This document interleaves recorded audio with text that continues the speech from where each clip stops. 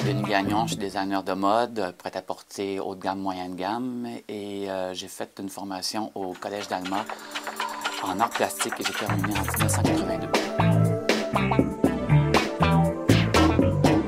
L'élève est plus proche du professeur, donc du maître. Ça, c'est intéressant aussi parce qu'on a toujours besoin, en fait, que quelqu'un nous, nous motive, nous, nous, nous, encourage, entre autres Alain Ouellette, euh, Alain Laroche, euh, Jocelyn Maltais, euh, qui sont des artistes.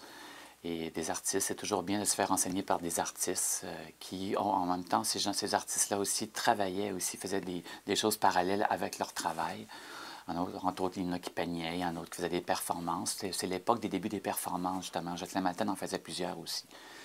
Puis aussi, il y avait Langage Plus. Langage Plus, qui était un organisme, en fait, euh, c'est une galerie parallèle où on fait venir des artistes d'un peu partout, euh, à travers de New York, ça peut venir de la Belgique.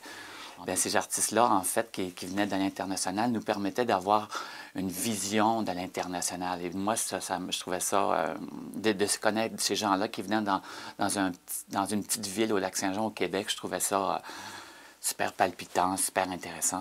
Pour moi, ça a été une belle formation. En art plastique, ben, tu te retrouves avec des gens qui ont une ouverture d'esprit. Moi, ça m'a libéré complètement. Moi, je découvrais le, monde, de la sculpture, le monde de la peinture, le monde de la performance. Puis ça, je trouvais ça, je trouvais ça palpitant, intéressant.